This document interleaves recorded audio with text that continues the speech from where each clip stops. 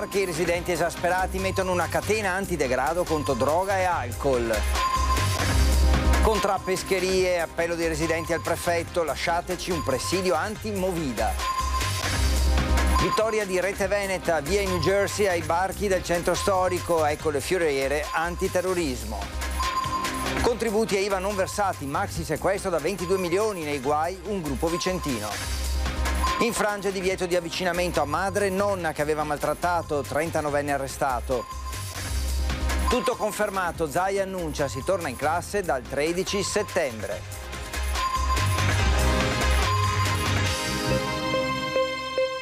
Benvenuti all'informazione di Vicenza che apriamo con il centro storico e con la Movida, ma eh, andiamo negli angoli più nascosti di Vicenza dove esplode il caso Contrabarche. Non di solo Movida si deve preoccupare Vicenza perché l'esasperazione dei residenti esplode anche in Contrabarche dove da qualche giorno è comparsa una catena che chiude un tratto di porticato di un palazzo nella piccola piazzetta di Vicolo Ceco Retrone.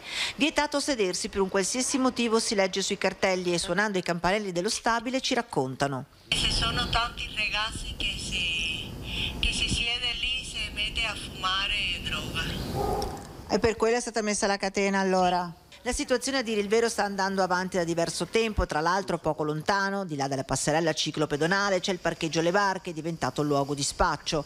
La comparsa della catena è la soluzione tampone trovata dai residenti. Abbiamo fatto degli esposti in questura prefettura del sindaco perché c'era un po' di, di sera c'era un po' di movimento, diciamo, e, e quindi c'erano dei gruppi di ragazzi che si radunavano lì nel sottoportico o all'interno del rione, con, fumavano, eccetera e il resto degrado, bottiglie lasciate in giro, quindi l'amministratore lì del 24 ha deciso di eh, installare almeno per prova. Prova al momento a quanto pare dai risultati incerti. Finora Insomma ha funzionato relativamente perché allora non vengono più verso le 9, 9 e mezza ma vengono un po' più tardi, verso le 11. Poi eravamo preoccupati quando hanno chiuso le pescherie vecchie a numero chiuso, in effetti venerdì c'è stato un episodio abbastanza movimentato, gruppi di ragazzi che inseguivano un altro per picchiarlo e credo si sia rifugiato lì al bar. Sono ragazzetti tra i 14, 18 e 20 anni che sciamano in città forti dell'appartenenza ad un gruppo e non manca anche chi ne approfitta per tentare il furto di una bicicletta, tanto che la proprietaria ha lasciato anche un biglietto. Intanto domani è previsto il Comitato per l'Ordine Pubblico e la Sicurezza, si farà il punto sulla movida di contrapescherie vecchie e il Comitato lancia anche un appello alle autorità per mantenere un presidio. Sentiamo. Oggi come portavoce del Comitato Pescherie Vecchie sono qui a chiedere di non fare passi indietro. Quindi noi abbiamo ancora bisogno di un presidio, però la presenza delle forze dell'ordine deve essere più mirata, più chirurgica all'interno della nostra piazza, al centro di Pescherie Vecchie. Solo così potremo eh, vivere serenamente la nostra quotidianità, sia come attività commerciali che come residenti. Questo, come detto tante altre volte, non sarà mai la cura. La vera bonifica ce l'avremo soltanto quando determinate attrazioni per i balordi verranno eliminate. Nuovamente sono qui a fare un appello al prefetto, al questore, all'amministrazione comunale di prendere veramente in considerazione la situazione e di non mollare adesso, che siamo sulla strada giusta, se no tutti i sacrifici che sono stati fatti fino adesso saranno stati fatti in vano. Noi intanto vi ricordiamo di segnalarci quali sono i problemi che vivete ogni giorno davanti a casa vostra perché poi noi di Rete Veneta li porteremo al vostro sindaco, lo potete segnalare, il problema che avete vicino casa al, con una mail a vicenza-retaveneta.it oppure con un messaggio al 345 855 9664 o ancora visitando la pagina Facebook Gli Amici di Rete Veneta Vicenza. Adesso parliamo di una proposta di Rete Veneta che era stata fatta a sostituire in New Jersey antiterrorismo con vasi di fiori. Il comune si era impegnato e oggi finalmente ha mantenuto la parola. La grande brutta bruttezza. Sculture di cemento armato sdraiate a terra. Così per anni Vicenza si è difesa da possibili attentati terroristici. Ma com'è possibile che una città rinascimentale possa convivere con questi New Jersey? Una domanda che per anni noi di Rete Veneta abbiamo rivolto alle autorità competenti sin da quando sindaco era ancora Achille Variati. Avevamo proposto ripetutamente di sostituire questi tronchi di cemento armato con vasi pieni di fiori e finalmente le promesse ricevute in passato oggi diventano realtà. Negli otto varchi di accesso al centro storico stanno comparendo i nuovi allestimenti floreali. Qui siamo in Piazza Castello all'ingresso concorso Palladio. Questi invece sono i lavori di allestimento del varco di contrapporti. Sono fioriere, ehm, come potete vedere, di colorazione ehm, eh, simile a tutti gli arredi urbani del centro storico e quindi perfettamente conformata alla tipologia di uno degli ambienti più eh, gradevoli e di qualità della città. Pensare che grazie a queste barriere si possa fermare un attentato terroristico è pia illusione. Basta guardare l'autobus della linea 10 che, seguito da una macchina, passa i varchi in cemento armato. Questo accade decine di volte ogni giorno. Passaggi continui. Se trova spazio un simile pachiderma, allo stesso modo potrebbe superare le barriere anche un terrorista alla guida di un camion o di un furgone. Se non altro, però, queste fioriere in acciaio zincato, a differenza dei brutti New Jersey in cemento armato, fanno da arredo urbano con essenze perenni e fiori stagionali. È una vittoria della bellezza per il centro storico, i commenti sono assolutamente positivi perché insomma eh, un vaso fiorito è certamente più bello di un blocco in cemento. E già, Certamente oggi Vicenza, con questi varchi, è una città decisamente più bella di ieri. Una vittoria per i vicentini e per noi di Rete Veneta che abbiamo sostenuto questa battaglia oggi finalmente vinta. Quindi pollice in su, missione compiuta. E sulle fioriere al posto delle barriere in cemento arriva anche l'approvazione dei vicentini per la sostituzione. Sì, ho sentito per televisione Ah, che ecco, l'hanno detto, Rete Veneto, se ho sentito, leva qui a vecchia, gli metti tutti i fiorielli, belli, sì, bravi, bravi, fatto bene, fatto bene. Questo avviene solo se c- è frutto di collaborazione e chiaramente viene dai cittadini, dalle- da- dai, dai media, da tutti quelli che naturalmente eh, ci tengono che il- la città abbia un aspetto veramente bello. Ha una funzione anche sociale, oltre che utile anche sociale, perché lo, lo sbarramento fine a se stesso era soltanto un blocco di cemento così che dava fastidio ed esteticamente era, era brutto a vedere. È molto positivo quello che, che- che viene fatto e quindi un, un plauso all'iniziativa di Rete Veneta. Un centro, una bella strada, una importante così. Avete fatto bene, dovevate farlo anche prima. E questo è migliore, non c'è dubbio. Molto meglio, vero? Sì, migliore. Dopo Sa- vediamo come sta con i Eh, fiori. era Rete Veneta che ha chiesto di fare la sostituzione. Cosa Ah, siete dice? stati voi. Cosa ne pensa? Avete, avete fatto bene, sì, sì, perché erano orrende. Rete Veneta, dopo due anni, penso, è riuscita a far togliere i, i gessi e mettere le fioriere ai punti di varco entrata nel centro storico. Direi che questo è un bellissimo obiettivo raggiunto che fa contenti tutti, secondo me, commercianti, associazioni e amministrazione. Contributi e IVA non versati, andiamo alla cronaca, maxi sequestro da 22 milioni della Guardia di Finanza di Milano, nei guai il gruppo vicentino Cegalin.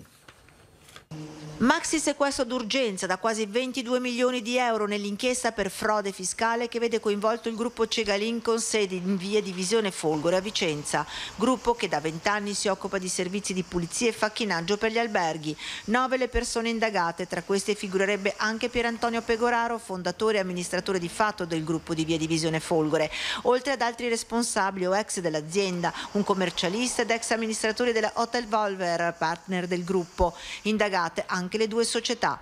Al centro dell'indagine denominata Dirty Cleanings la della Guardia di Finanza di Milano vi è il meccanismo attraverso il quale il gruppo tra il 2013 e il 2017 avrebbe esternalizzato il lavoro avvalendosi di cooperative. Quest'ultime però non avrebbero versato né contributi previdenziali ai lavoratori né IVA, soldi che poi attraverso un sistema di fatture sarebbero stati dirottati all'estero. Un modello fraudolento con gravi condotte che agevolano lo sfruttamento dei lavoratori e che determinano pratiche di concorrenza sleale. Scrive così il PM di Milano Paolo Storari nel decreto di sequestro preventivo d'urgenza. Secondo quanto avrebbe appurato la Guardia di Finanza, tra il 2013 e il 2016 il gruppo avrebbe usato 21 società per esternalizzare in totale oltre 7.000 lavoratori, mentre sempre secondo le indagini i rapporti di lavoro con i committenti, le catene alberghiere venivano schermati a diverse società filtro riconducibili al medesimo imprenditore che si avvalevano di cooperative e di fatto società serbatoio, succedutisi nel tempo trasferendo la manodopera dall'una all'altra, omettendo sistematicamente il versamento dell'IVA, degli oneri di natura previdenziale, attraverso l'utilizzo anche di indebiti compensazioni. Contributi e tasse non pagate, due cooperative sociali di assistenza ad anziani e disabili dell'Alto Vicentino scoperte evasori totali. Due cooperative sociali con a capo lo stesso imprenditore e sede legale nell'Alto Vicentino, attive nel settore assistenza sociale domiciliare per anziani e disabili, scoperte evasori totali. A mettere a nudo l'attività illecita la Guardia di Finanza di Schio. In particolare i due soggetti giuridici hanno sistematicamente operato nel corso della loro vita in totale spregio degli obblighi tributari di dichiarazione e di versamento delle imposte, tanto da essere destinatari di decine di iscrizioni a ruolo per circa 860 mila euro tra cartelle esattoriali e avvisi da debito dell'Inps. Tra l'una e l'altra cooperativa sono circa 180 le posizioni lavorative inquadrate come badante per le quali non sono stati versati i contributi INPS e INAIL. In questo modo, in spregio alle norme, l'imprenditore era in grado di fornire servizi a prezzo concorrenziale inquinando il mercato, un danno all'erario e all'ente previdenziale per migliaia di euro. Circa 1.700.000 euro di ricavi non dichiarati, IVA evasa per circa 40.000 euro e ritenute operate non versate sulle retribuzioni per circa 130.000 euro. Ancora cronaca, importante operazione conclusa dai carabinieri di Bassano nella lotta allo spaccio di droga nel territorio. È stato un osservato speciale per quasi un mese e mezzo. Poi, dopo un pedinamento iniziato a Tiene, il nucleo operativo e radiomobile dei carabinieri di Bassano ha arrestato Abdul Mohamed, un marocchino 42enne proprietario di una macelleria, per spaccio e detenzione di droga. Giunto nel quartiere San Vito, Abdun ha venduto cocaina a un bassanese. Poco dopo lo spacciatore è ripartito verso Tiene, sempre pedinato dagli investigatori. Arrivati in prossimità della sua macelleria è stato prontamente bloccato. Nel corso della perquisizione sono stati rinvenuti 350 grammi di cocaina, 50 grammi di hashish, oltre a 52.000 euro in banconote. Il 42enne, già noto alle forze dell'ordine, è stato arrestato. Un'operazione contraddistinta da una caratteristica, la perseveranza. Sì, assolutamente vero. Eh, I miei collaboratori sono stati veramente determinati a ottenere il massimo, un'ottima operazione che io ritengo essere di alto livello. Come è avvenuto ad esempio l'arresto? L'arresto è venuto concretamente quando siamo arrivati a Tiene davanti alla macelleria appunto gestita da, questa, da questo soggetto di origine marocchina e l'abbiamo subito braccato nel mentre lui accedeva appunto alla macelleria. Al momento dell'arresto la sua reazione? Boh, è stato molto calmo, era, era tranquillo. Aveva maltrattato i suoi familiari e per questo era stato allontanato da casa, ora è stato arrestato. Un vicentino di 39 anni è stato arrestato dalla polizia per aver infranto il divieto di avvicinamento alla madre e alla nonna. Il grave provvedimento si era reso necessario perché l'uomo aveva ripetutamente ignorato in più occasioni il divieto imposto dal tribunale. Dopo ripetuti maltrattamenti ai familiari, infatti, era stato raggiunto dalla misura di allontanamento dalla casa familiare già lo scorso 20 aprile. Il mancato rispetto delle disposizioni a suo carico era già stato segnalato dalla questura alla procura di Vicenza. L'ennesima denuncia presentata dalle due donne che segnalava la presenza dell'uomo sotto casa ha fatto intervenire gli agenti delle volanti che hanno fermato il soggetto e accompagnato alla casa circondariale di Vicenza. Ora parliamo di scuola, tutto confermato, si torna in classe dal 13 settembre, l'annuncio oggi dal Presidente Zaia. La decisione della Giunta è questa, il primo ciclo e il secondo ciclo aprono il 13 settembre, le scuole finiscono l'8 giugno Noi abbiamo tentato di lavorare per i 20, ma oggettivamente non puoi mettere in difficoltà le famiglie. Una notte di riflessione per il presidente Zaia e l'attenzione, l'ascolto le esigenze dei veneti e ai ragazzi che per primi hanno patito questo difficile anno di scuola in didattica a distanza e che oggi vorrebbero iniziare il prima possibile. Spero che ricominci il prima possibile, soprattutto in presenza, perché stare a casa è, è difficile sia psicologicamente che proprio di cultura è difficile. Sempre il problema di genitori che lavorano, giusto? E quindi non pensano, le ferie sono sempre date quelle due o tre settimane di agosto o, o le aziende che se le possono permettere di darle quando le vuole. Ulteriore tassello che va aggiunto e che è venuto meno ad un inizio anno scolastico non più posticipato è legato proprio alla scuola. Che la rassicurazione di avere le, le scuole comunque aperte, come vi ho annunciato ieri, anche a scuole chiuse, sembra quasi un controsenso, cioè la possibilità che i bambini, i ragazzi possano comunque andare a scuola a fare quei dopo scuola, quei corsi integrativi, insomma, non, non c'è stata data, nel senso che c'è, c'è un'indicazione ministeriale, ma non tutti saranno aperti, quindi avremo creato disagio alle famiglie. Bisogni delle famiglie ed esigenze economiche, quelle del turismo in questo caso, non sempre facili da far coincidere. Dunque, alla fine si torna in classe il 13 settembre, ma con una pausa natalizia sostanziosa dal 24 dicembre 2021 all'8 gennaio 2022. Vuol dire che rientro a scuola il 10 gennaio. Prima di salutarci vi ricordo che dopo il TG Vicenza andrà in onda Sport in casa, condotto da Alex Giuliano, puntata dedicata al settore giovanile del Bassano con ospite Gian Antonio Tessarolo. Per quanto riguarda invece Focus, eh, alle 21.15 con il nostro direttore Luigi Bacialli ci saranno Renato Boraso, Settimo Gottardo, Giovanni Battista Mestriner, Antonella Tocchetto, Roberto Tuninetti e Giovanna Zucca, quindi approfondimento con Focus. È tutto per quanto riguarda l'informazione di Vicenza, grazie per averci seguito, vi lascio alle previsioni del tempo, arrivederci.